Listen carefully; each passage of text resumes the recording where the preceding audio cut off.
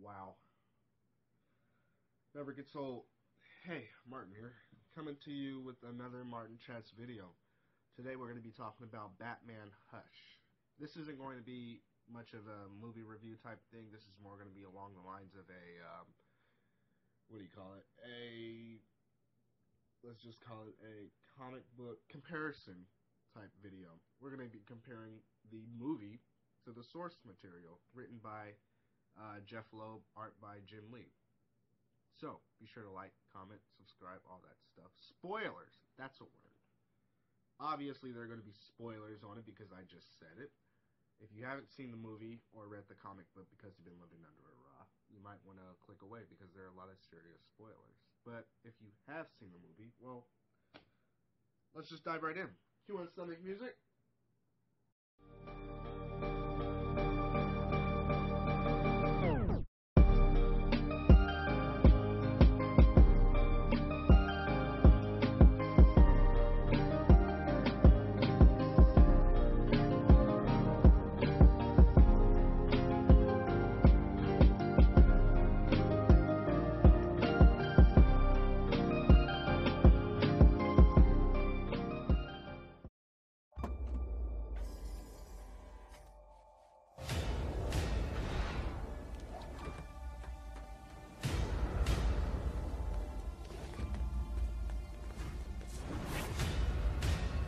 Done this dance for so long. Like the view? It's the only thing you'll catch tonight. Batman Hush is arguably one of the best comic book storylines in the Dark Knight's 80 year history chest. And after 17 years, DC has finally given Hush an animated adaptation. The movie, in many ways, improved over some of the flaws from the uh, from the source material, but it does make its own mistakes in doing that in that process. Hush is very much a good Batman movie. It really is. While there is the central mystery of Hush's secret identity and his relationship to Bruce Wayne, it's less of a crime movie and more of a superhero movie, especially with the appeal of seeing so many fan favorite characters that we've seen over the last 80 years crammed into one story. It's really great. He's been one step ahead of me the whole time. Tick tock, trail's going cold. This just gets better and better.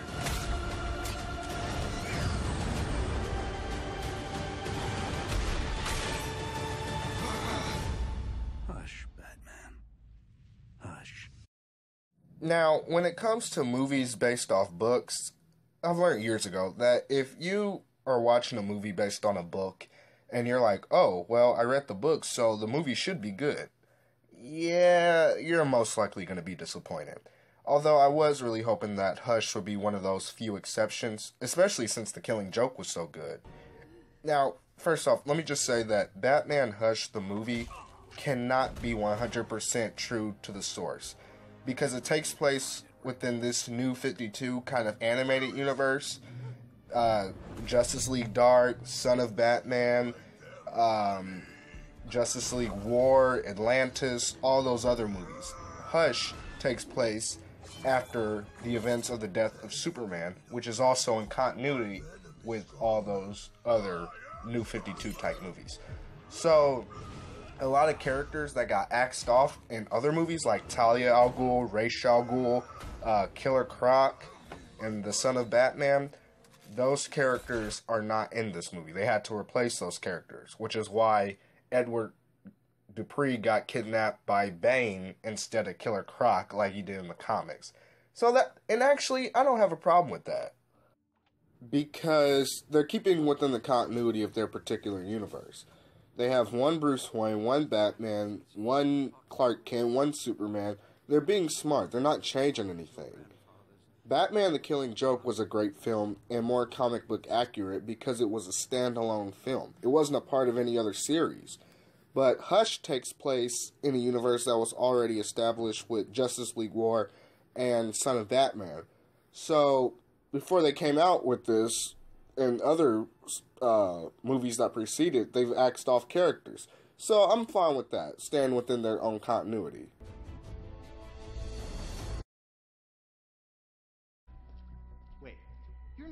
Some guy in a bat costume, are you?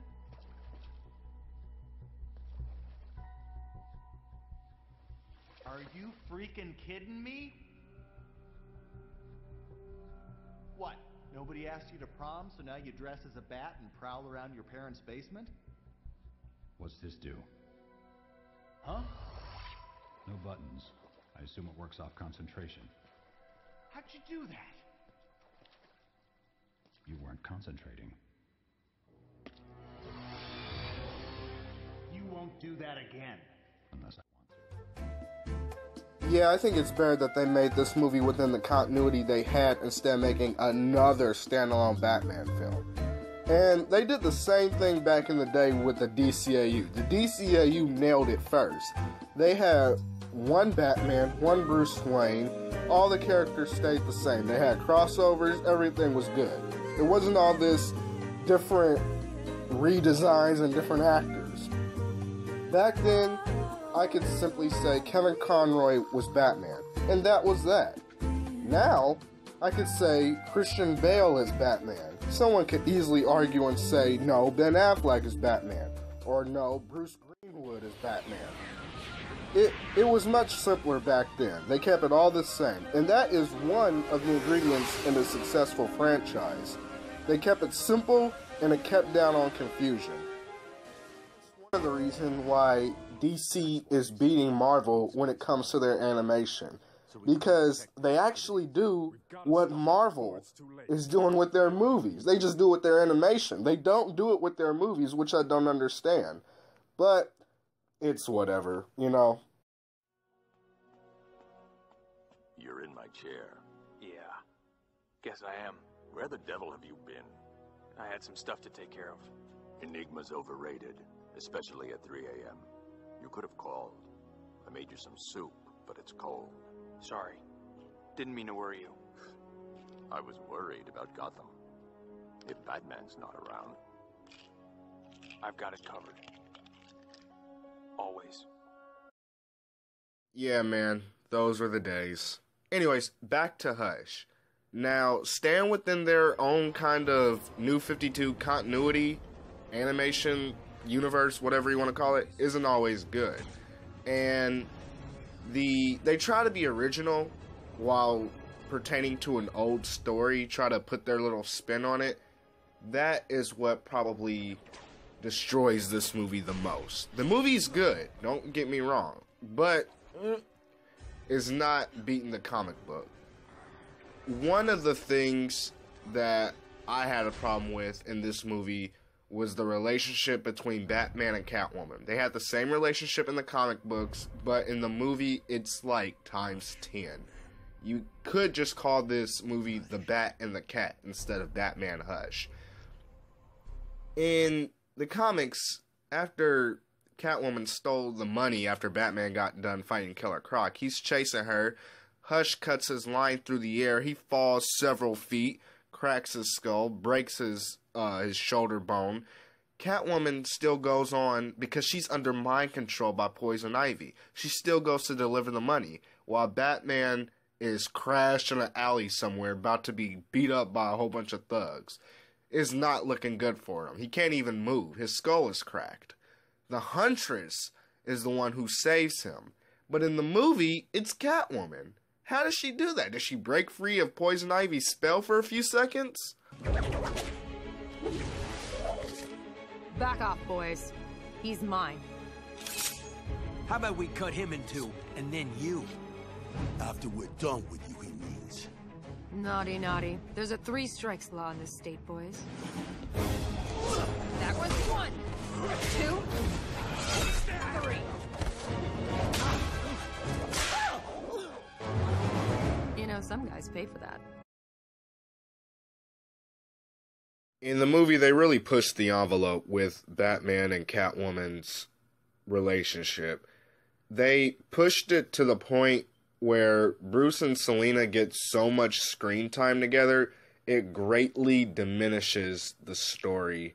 And Hush himself, the secret identity of Hush. It's already bad enough that Hush is not who we all thought it was going to be, but his character arc is greatly diminished because of how much Bruce and Selina spend time together. And I don't know if they had them spending so much time together to build up their character arc because this is the first time we've seen Catwoman in this particular animated universe. Maybe that's why. I'm not sure. I just think that it greatly diminished the comic book story. Take care of Ivy. Nope. Hmm. Fine. We work together on this. What's the address? Oh, I'm not done with my demands. Tick tock. Trail's going cold.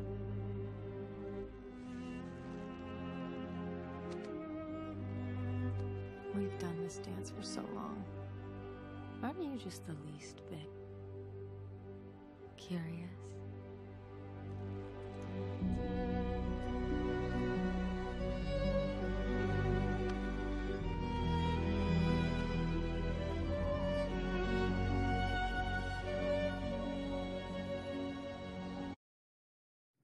Now, I will say one thing the comics did that the movie smartly leaves out. In the comics, they made Batman kind of sprung after he kissed Selina. And I'm not even kidding about that. Literally, after that night that he kissed Selina, the next six pages is Bruce thinking about how he kissed her over and over and over again. Not panels, the next six pages.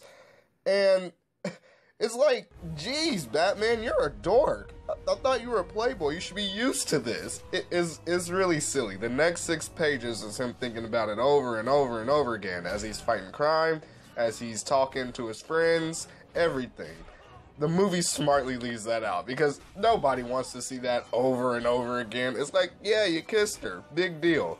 So that was a good thing.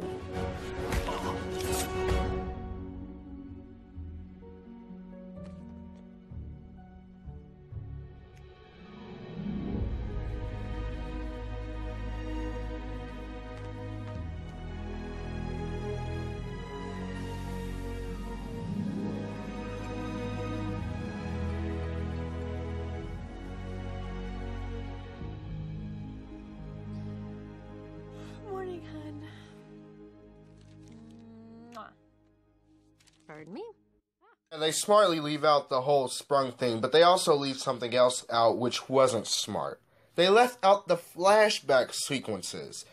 In the comic book Hush, during the whole story, we constantly see these beautiful oil pastel flashback sequences that gives us more information about who Tommy Elliot is, uh, more depth to Bruce Wayne's childhood before that one horrible night, and it gives more depth to the story. It gives way more depth to the story. In the comic book and in the movie, there's a part where uh, they're at a concert. Harley Quinn shows up, and Batman ends up fighting the Joker outside in an alley. The Joker seemingly kills Tommy Elliot, and Batman goes off. And it's not just about Tommy Elliot, it's about him crippling Batgirl. What he did to Barbara Gordon in the killing joke. He shot Barbara Gordon, crippling her for life. She can never be Batgirl again. It's also about what he did to Jason Todd. He murdered Robin. He killed Robin. This is revenge about all the stuff that the Joker's done. But this is where continuity screws it up. Because in the movie, Jason Todd doesn't exist in this universe. Barbara Gordon is still a kid. The killing joke hasn't happened yet. So, yeah, we get the same fight, and Batman still brutally beats Joker to within an inch of his life, but it doesn't, it's not, it's not as meaningful. Because not only do we not have those two important characters, we also don't have any flashback sequences. It would be tight if Batman was fighting the Joker and we saw those flashback sequences of the horrible things Joker did. It it it just doesn't give it the same depth. It's it's cool, it's a cool fight scene, but it doesn't have the same impact like it did in the comic books. Totally innocent. Ugh, that doesn't even sound right, does it? Batsy, I was in a basement until five minutes ago. I'm also looking for Harley. Have you seen her?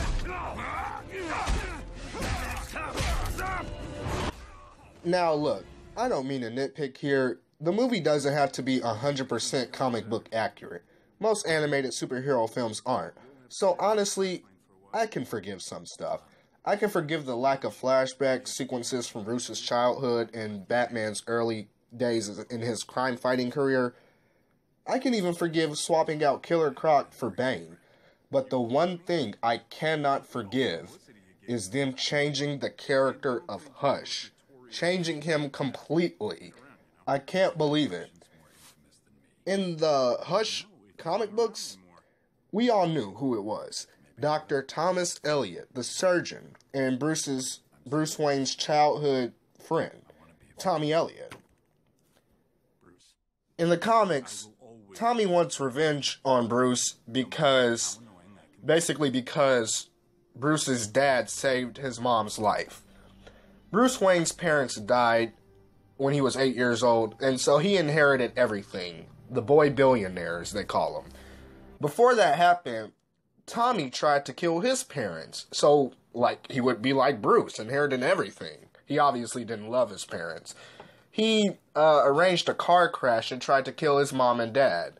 Well, um, Dr. Thomas Wayne, Bruce's dad, saved his mom's life. So he didn't receive a dime. He wasn't like Bruce. Bruce was orphaned as a kid and he had a lot of money. Tommy wanted that and he didn't get it. So basically, he bra- he blames Bruce Wayne because of his dad saving his mom's life. I have a job for you, Batman. Bring me Bruce Wayne, or I bring down this tower. Why Wayne? The two of you are friends. That brat's family destroyed me. And now, I will destroy him. The Wayne stood by you. Ah, yes, the great Surgeon Thomas Wayne. To think he was once my idol. Until he ruined everything. He did all he could to save your parents after the crash. I'm sorry you lost your father. But he saved your mother's life. He denied me what was rightfully mine. The car crash wasn't an accident. It was you. You wanted to kill them. But now, forget all that, because that's the comics. In the movie, Hush's secret identity is the Riddler. That's right, Edward Nashton. Not a new character, an old one that's just been recycled.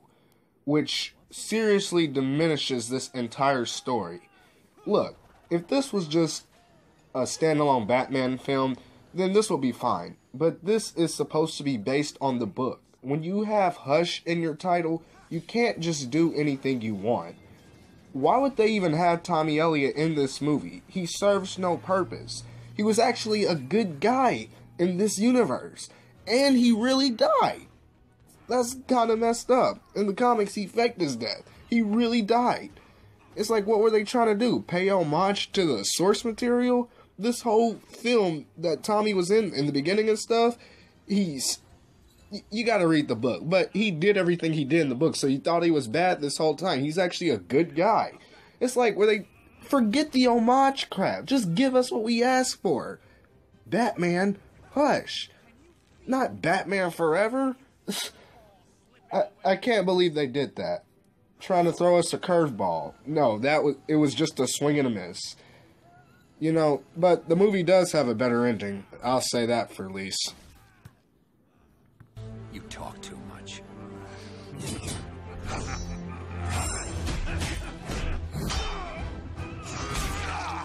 I repeat, what do you think of me now?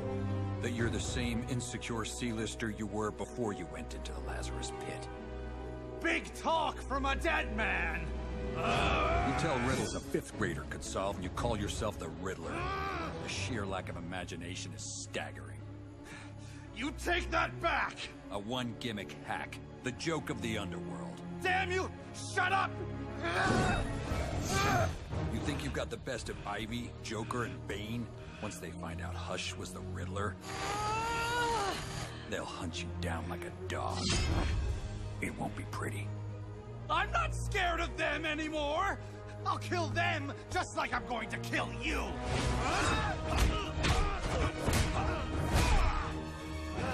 The effects of the pit don't last forever. I'm betting even now you can feel it. All that strength and genius slipping away just when you need it. So, I know I threw a lot of punches at it, but overall, Batman Hush is a great film. I actually would give it 4 out of 5 stars. I'd even say it's worth watching twice. I like the movie. I like the continuity it's in. I like Jason O'Mara as Batman. He's not as masculine and threatening as Kevin Conroy, but then again, who is? He's pretty good, a close second. But compared to the comics, it's not beating the source material. No way. Like I said, it does have a better ending, and I like some of the things they play with. I, I kind of like how they did some of the characters. Um, but overall, story, as far as the actual story go, it was way too Bruce and Selina heavy. Seriously. If they trimmed down the bat and the cat relationship screen time, they could have added in way more stuff from the comics and made it even more closer to the source material. Even Damian takes a hilarious jab at Bruce for it.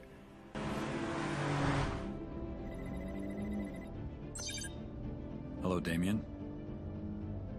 Titus? Pennyworth tells me you're romantically involved with a criminal now? Ex criminal.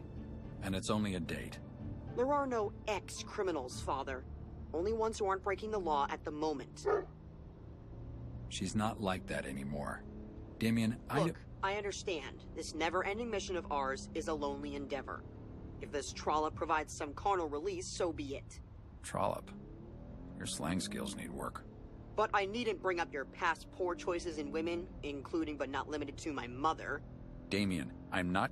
Not that I'm on great terms here, mind you. However, I must insist that you use protection. And another thing, cover your drink. Goodbye, Damian.